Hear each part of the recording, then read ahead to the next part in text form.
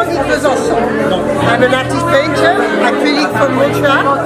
I'm really happy to be here in the community of women at the Wonders Gallery and how I can speak about my art is uh, what is my main demarche is what can you say when you don't speak?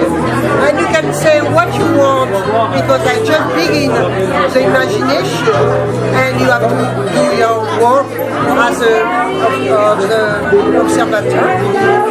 And uh, it's really important for me to be engaged and to say things we can say with social work.